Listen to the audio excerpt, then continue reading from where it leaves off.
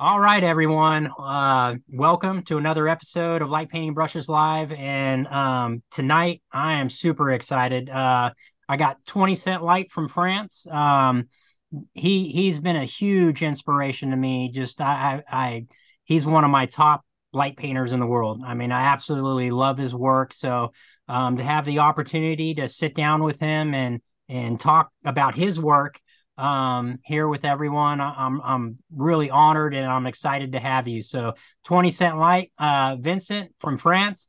Thank you so much for being here. Um, please introduce yourself. Tell us a little bit about you. Well, uh, my name is pronounced uh, Vincent in French. Um, I'm a scientist. Uh, I got a PhD in electrochemistry, and um, I do uh, science work during the daylight, and during the night, I practice light painting. All right. Well, you're you're very good at it for sure. So I, I just really enjoy your work. So again, thank you so much for being here. Um, how how long have you been light painting, and and how did you discover light painting? Um, I discovered this few years ago. Uh, I think I practice it uh, with more um, uh, passion, if I could say like this, uh, since six years right now. Okay. But I knew it um, before that, but it was not, I don't know, not, I wasn't interested back in the time. Uh, I just fell in and then uh, I just decided to to to dig. Okay. Um, ha, uh, what what is your favorite part about light painting? Um, do you do you have something in particular that just draws you to it and um with with your work? Um, I consider myself as a bad photographer because um, for me, a photographer just um, capture uh, a, a good image with a good light. And the thing is, uh, I don't know how to do it. But what I, I love to do is to create light. So being in the dark and using light to make my my own stuff and and having colors that could not be done with daylight for example it's uh it's just so funny to to to do. And practicing with a human being is also fun. So Yeah, I, I prefer, I prefer doing that um uh, in opposite to uh, to urbex uh, exploration, for example. Well, it, you know, it's funny because uh, you know when you said practicing on human, you know that that's a big element of your work. Um, give me a second. Let me pull up. Uh, let's pull up your your page here. Um, so again, this is your your Instagram here. Now, a lot of the people that we see in here, um, y- you know, who are these people? Are are these models? Are they friends? Are they um, um, different types of projects that you work on? Um, you know, who who are the people that you work with? Exactly what you just mentioned: friends, models, um, random person who just want to to have these kind of pictures. Um, usually, I, I use a social network to uh, discuss with with people to um, um, maybe create a new project together or uh, continue one uh, ongoing. Uh, if I if I want to uh, to do a, a a series, for example. So um, at the beginning, I was just playing with my friends, and once I I consume everyone, I decided to open to to random person and models. Is this a studio in your uh in your your residence or, or where where are these taken at? Uh, I I have a personal studio at home. Yeah, Um, I I have a question for you. I, I've got to ask this because um, you know, the fiber optic um is one of my favorite tools. I love the light painting brushes, fiber optics. They're just they're amazing. Exactly. how do you hold the tool? Like what what is your preferred method? You know, for me, I like to take my my two fingers there and, and kind of smash it down so it's flat. And that's uh that's typically through an entire exposure how how I hold it. What what what kind of way Um, do you hold it? I'm using both of my hands. With my right, I grab like this, and then I do a large a large uh, brush like this. Wow, okay.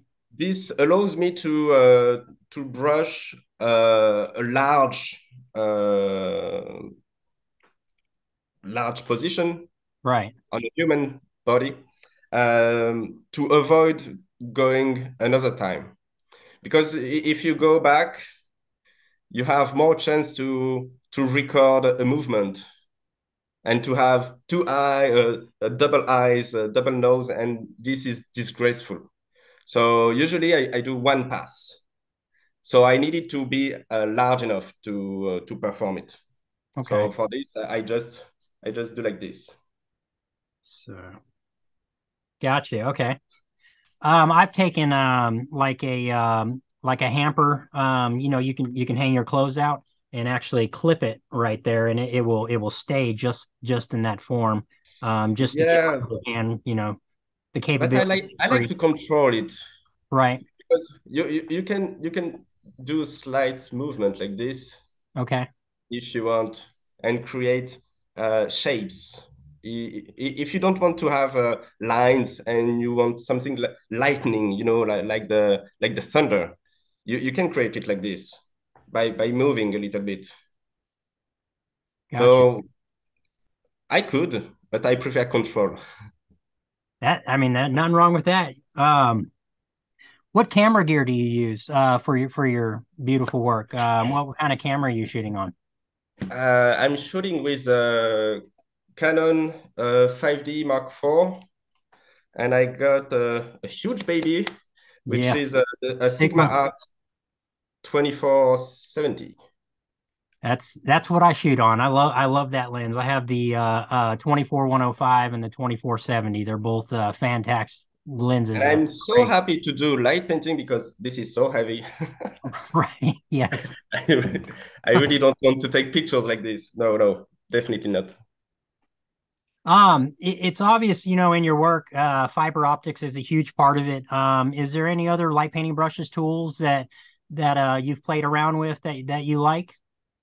Um, usually, I select my tools according to uh, the scene I want to to to make.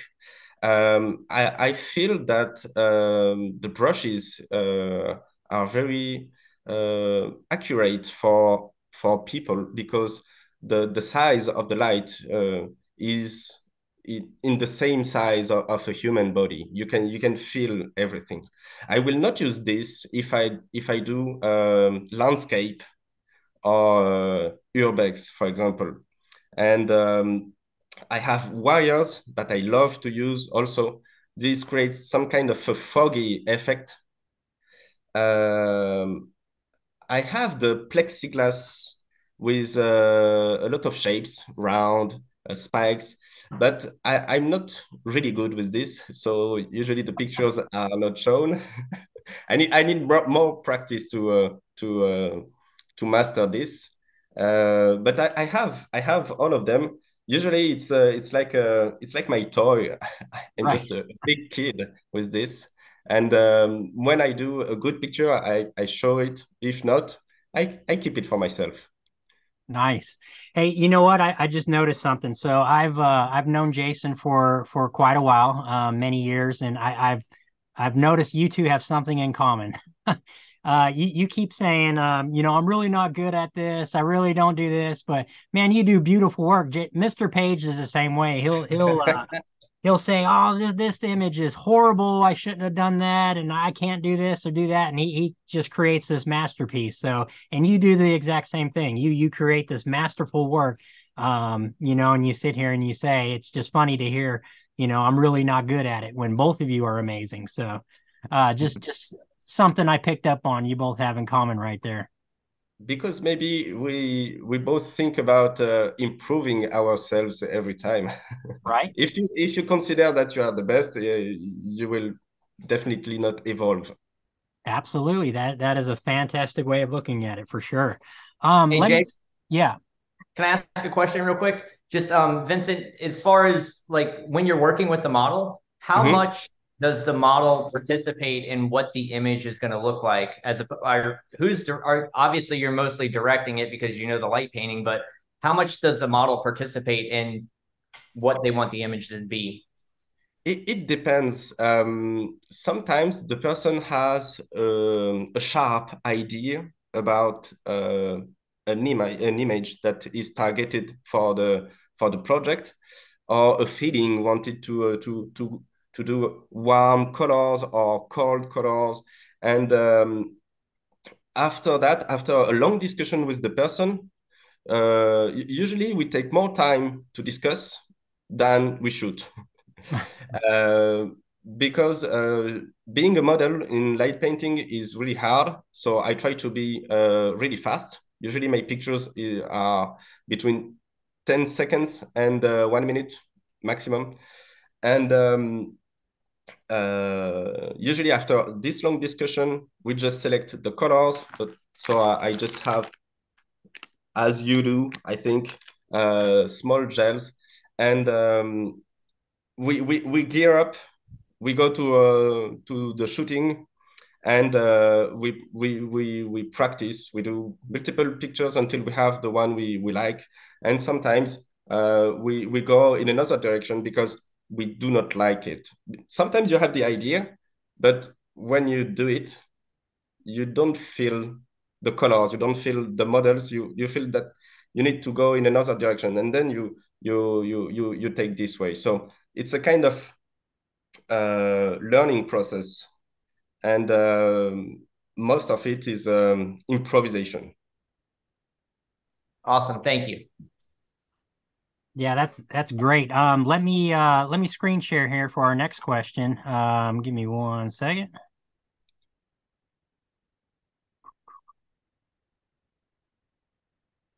All right, so you know, with that, you know, what what um your name, 20 Cent Light. Um, how how did that come about? Like, well, what is uh, what what are we looking at right here? Can you break this down for us? Yeah, this comes from um, a joke between friends, uh, because my my name uh, is pronounced Vincent in in French, and Vin is the number twenty, and cent could be cent, so we just decided to. What about twenty cent for your name? it was so funny that we we we go for it. I did it. I decided to go for it, and and then I I created my signature um, hiding in my pictures uh, with um, a binary uh, language. That yeah, that's what I was going to say. Binary. Yeah. Yep.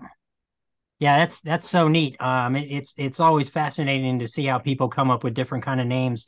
Um, and and I think yours is pretty unique and it relates to your your field of, of, of work that you're in and um, it, i love the thought process there so it was uh, very intriguing it's the the cheap version of uh, 50 cent all right gotcha um i'm i'm really excited about this next question for you. Um so the, the last time that we had talked you had mentioned mapping um, for showcasing your beautiful work.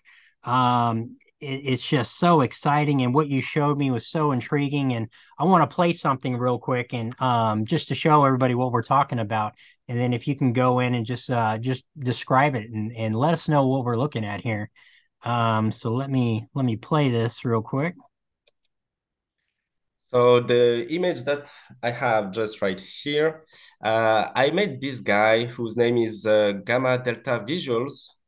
Uh, this guy uh, creates glitch art, uh, visual glitch art, and uh, he asked me if I can give to him the the pictures, this picture. He took it and he decided to to change the colors, to move everything, and just project the same image on the same picture. So unfortunately tonight I cannot do it right now. Uh, but when you see it in a real gallery, you, you feel that you are so high, like, oh my God, did someone put LSD in my glass? because this is moving, this is changing colors, and uh, you, you can you can see, you can you can almost feel that everything is, is moving. It's impressive. It, it really is. I mean, it's a fascinating way of just, um, you know, you see these apps on phones that uh, 3D render um, light paintings and, and, and add motion to still Im- imagery. Um, so to actually implement that and you know without te- without like a phone or anything and i could just imagine being embraced in that environment and just uh, in a in a gallery and seeing this light painting just alive on the wall like this um, exactly. super super cool and and i would i would absolutely love to see this in person.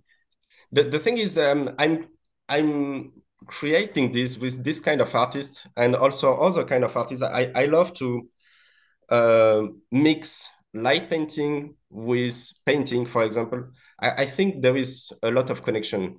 And um, I wanted to create, so th this will be for my, my, ne my next uh, exhibition. And I wanted to create uh, an exhibition completely in the dark, in which the image is just bright. Because when you do light painting, you are in the dark and you bright something. You bright a person or a, a scene. And I wanted for the audience to to feel the same way that they are in the dark and they are seeing colors coming out from the dark. And for example, for for this one, um, we also did some uh, beautiful stuff with my uh, uh, a friend of mine uh, whose name uh, Guillaume Smash, who's a tattoo artist, and he's doing screen printing. And uh, we love to to hide messages in images. And I don't know if maybe I will move this, but there is invisible. Oh yeah, man. Oh, that is just so cool, man. Just, oh. What am I looking at? what was that? What? Like, Jay, pull it. Like pull life and death, you know, the the card. Wow. And with a UV light, you can show it. So it's hidden. That's got to be one of the coolest things I think I've ever seen. Absolutely. So we are creating wow. stuff right now with uh, with other artwork. You, you and, know, one one thing that I, I absolutely love about this and that's so grabbing about it is um so it's not just it's like taking a light the the light painting art form and you're intermixing and intertwining it into into other genres you know other people that are creative and other people that have ideas and and integrating those two together and creating something that is just so beautiful and and is so unique and it, it's just it's awesome. You know, like it's it really is some cool stuff man Thank you. The the it, thing I like is uh, is making other person discover something new. Light painting for most of the person uh, is new, but when you go further, it's so funny. they just have their their their mind blowing. right. Yeah. Absolutely. That just happened to me. That just happened to me. You got me. I was like, what am I seeing right there? Wow. And you should see in the dark completely because it brights really. wow. That's amazing. I, I love it. It's just, is it just, no, I shouldn't say just, is it a screen print over the print itself? Yeah, we used uh, invisible ink. Okay. And uh, the screen printing process, maybe you know it. It's uh, it's on a, uh, some kind of a Canva and uh, mm-hmm. you yes mm-hmm. you, you you do it and then you you have the ink going on the other side. Wow. And you you you print on it. That that is so cool and mind-blowing man. I love it. Absolutely. Um you know it's it's hard to go from here. I mean because that's just so cool man. It just i see that and it just blows my mind. Um you know what what would you tell someone who is just starting out light painting. Um, what what kind of words of advice would you give or or you know somebody that wants to explore this art form? Um, what would you tell them? Just light painting or light painting with models? Um just just in general you know somebody that says hey i would like to uh, explore and do some of the work that you're doing you know uh, can can you give me any kind of point, pointers? To practice a lot. Yes. Um nothing comes from nothing. You, if if you do not practice, uh, you won't be able to reach uh, the results you want. Um, you need to control the the intensity of the lights, the colors you want, the mix of the colors, uh, the sharp, the blurry, what you want on the image. And uh, if you go from this to modeling pictures, for example, it's even uh, another level because you, you have to consider that you are uh, taking a picture of a human being. So you have to consider the person and to be respectful. And uh, I, I, I love to be fast, to not let the person in a difficult position uh, that uh, can that can hurt. So think about a lot of uh, a lot of th things around just to to make sure that the the shooting is a good experience for you and for the person. If you do not enjoy it, don't go for it. You know, I'm I, am i am going back. I'm going back. I've got a question for you. So, is it and and I don't even know if this is a possibility. It was just something that popped in, into my head. Um, so let's say you're displaying this image in in a in a gallery. Is there a way to um, and, and then again, I might not know necessarily how UV UV light works. But if you were to put on a pair of glasses and see a completely different image, um, so you get you get the experience of of seeing one single art piece um, in two different um, dimensions. You know, like you put on these glasses and you you see this whole transparent um, image. Um, I was thinking about something similar but different. Um, I think you can you you can um, use glasses to see different uh, part of uh, the same image. For example, there is glasses with, with, you know, blue and red. And if you are playing with this, you can you can have two images and you can see uh, one of those uh, using the, the blue uh, glasses or the red glasses. There is this artist, the, a street artist named Insane 51 go to see his work. He's doing huge uh, street art with blue and red colors. And uh, when you when you look at the his art with the this uh, this kind of um, uh, glasses, uh, you can see two different images. So this could be done uh, with light painting also. I am thinking about about something similar. Um, I don't know how it will it will be at the end uh, it's still in process. Well, I can tell you one thing, man. Just you're you're definitely setting the bar somewhere um, in in a completely new, fascinating direction.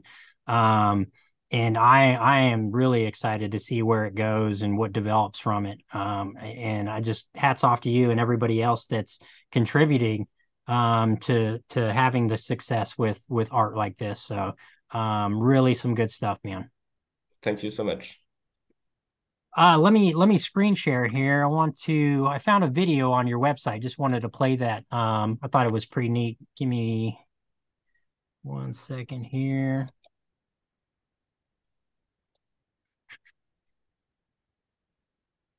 Yeah, your little. Uh, I'm gonna play your little teaser video you, you have. I, I thought this was pretty neat. So let's watch this for a second. This is my place, my playing ground. So sometimes I love to uh, to mix uh, studio photo with light painting using flash, but always with uh, colors.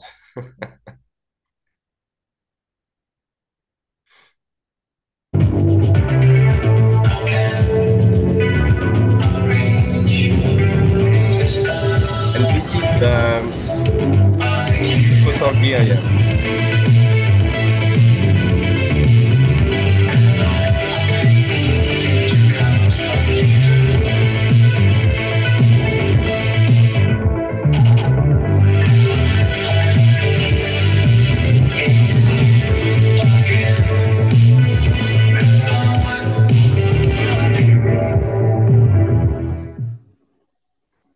I, I, watched that earlier, man. I was like, "Whoa, this is cool!" Because I've got a, uh, a nice sound system down here in my studio, and I was just like blown away with the beat and the, it just uh, man, it just builds you up, and it's so cool. So, um, your website is beautiful, man. Uh, the the layout is just uh, um, really really cool. So I encourage people to go to 20centlight.com um, and and check out his website. He's got uh, uh, lots of different stuff here. His studio work you can click through, and um, if you want to look at portraits and stuff like that.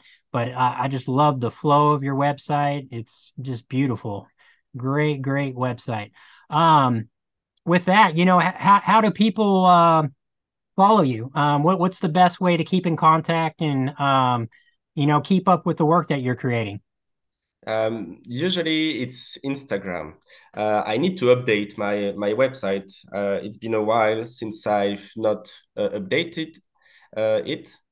Uh, but on Instagram, um, I post at least once a week uh, new new images. So if you want to to see the the last one, it, it will be for sure on Instagram. Okay. I do have a question. Uh, when I was looking through your website, um, I came across these multi exposures. Um, yeah. beautiful, man. This is just. Uh, uh are these uh, are these in camera or or what what what what type of uh, double exposure are you doing here? So when I just discovered this kind of tool, um, I did not wanted to just take pictures. I just I wanted to know what kind of uh, uh, hardware I have inside. And there is a multi-exposure function inside in which you can take one picture and another one, or even nine pictures if you like. So um, I decided to um, to do collaboration with uh, painters. So uh, I took a pictures uh, of their art, and then we uh, double expose uh, exposure with a, a face or a body. And for for those one, I just decided to take um, three images of the NASA uh, and Nebula, and uh, I wanted to to make um, a mix of uh, of people and and the stars. you know it, it's funny um i love multi-exposure and and it's it's that there's a fine line there you know just some light painters are just like you know just it, it creates so much debate you know but as olympus has advanced more in uh, live composite it, it's been brought to the format of you know people being more accepted of it. Um but you know jason hits on something all the time you know the camera is nothing more than a tool. And using that tool and, and creating these um, these art pieces um, that's what it is. You're you're just you're creating art um, from using the tool as a, as a camera. Um, you know and as long as it's not something that's you know photoshop manipulated i, I think it, it needs to be brought more often into the forefront as as an acceptable form of of light painting. Um, it's beautiful. It's a great technique. And um, just beautiful work man. I just wanted to it that that folder grabbed me and I pre you know appreciate work like this. So I wanted to to talk to you about that. Thank you. Thank you. I, I um, love I just want to say real quick, I absolutely love how you're collaborating with all these other people and only introducing them to light painting, but also just incorporating their work into your work. And it's really it's something special, man. I I I was a huge fan of your work and you know that I've told you probably many times, but you know, it's uh I didn't know about the collaborations and all these other things. And it's so awesome that you're doing that, man. I really appreciate that. It's amazing and beautiful, and I love it even more. Thank you. Uh, th those one you you are just uh, watching are straight out of camera. like like using a projector, like projecting that. Yeah. We, we project uh, an image here. The person is not moving, and then we turn off the light and then I do the light.